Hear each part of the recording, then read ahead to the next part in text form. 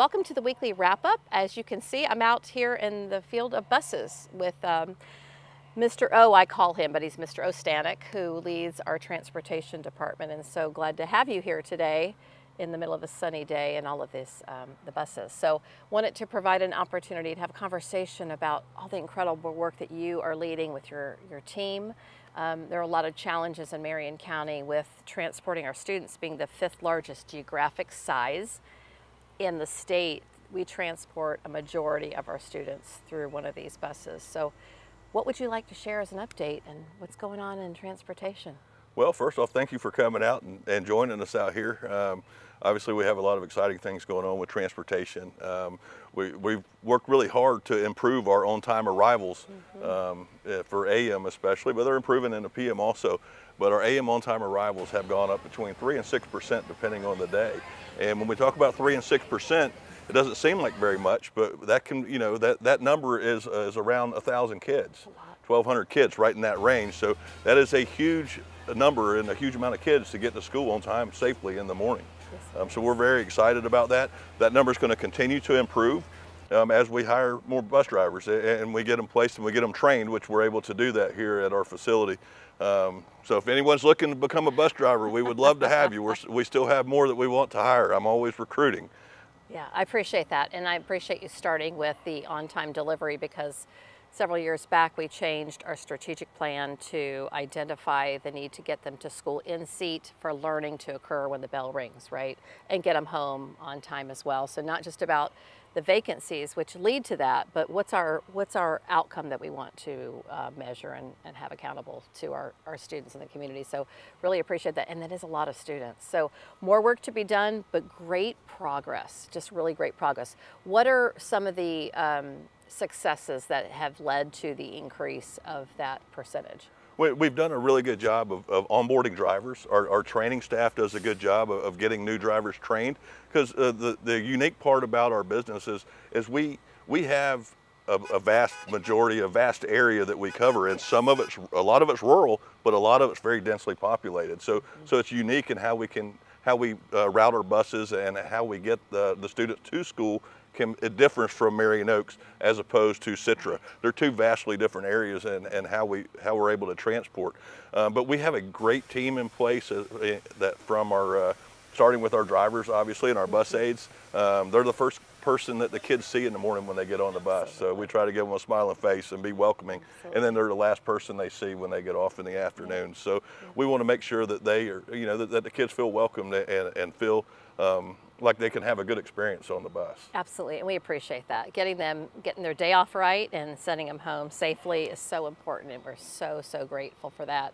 And, um, and for the bus aides, everybody who's a part of that and the, and the team, the routing team, everybody behind the scenes who's making all of these things possible. I want to go back to something you said I think is so important. And, and in some communities where the entire district is densely populated, you can pivot when there's um, an absence on, of a bus driver, right? You can pivot and, and, change routes, but you can't do that here from you know the forest to Dunnellon and, and north side. So those are unique challenges to Marion County that doesn't occur everywhere. So appreciate the, the constant um, thoughtfulness and um, ability to analyze the data and how those pieces can come together as efficiently and effectively as possible for our students. And so I think that's what's led to that percentage increase, right? Yes, ma'am. Uh, the, the, the, we've kind of put in a, a three-tiered system, uh, which has been which helpful. Which is new this year. Which is very is very new this year, um, which has been very helpful for allowing us to Im improve our uh, on-time arrivals. Yep. Um, we also have an incredible staff. I, I mean, our, our, folks that, that are in place within transportation, we have 450 people that work in transportation, um, roughly. Mm -hmm and they're spread out across the district and they're able to communicate with each other and come together and, and help each other. I can't tell you the number of times that on the radio um, we, we have drivers that are communicating with each other because um, one of them's stuck in traffic somewhere and they're radioing to someone else, hey, can you pick up a stop on this road for me? And we go by and make that happen. And, and that's just because of the experience that they have and, and the willingness to work together as a team. Yes, absolutely. So you think that the new tiered system will yield better results, right? Yes, ma'am. It's going to continue to improve.